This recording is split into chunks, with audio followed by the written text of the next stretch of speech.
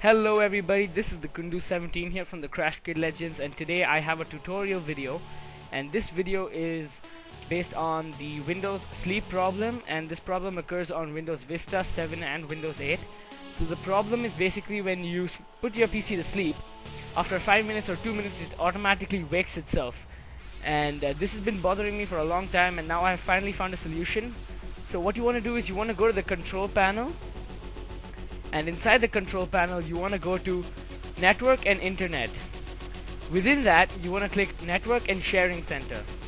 And on the left hand side you will see change adapter settings. So you click on that and then you choose the current Wi-Fi modem or Ethernet cable you are currently using.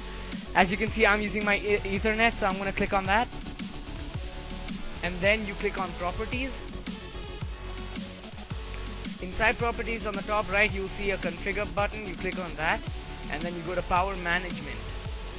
Then you see a tiny box saying allow this device to wake the computer.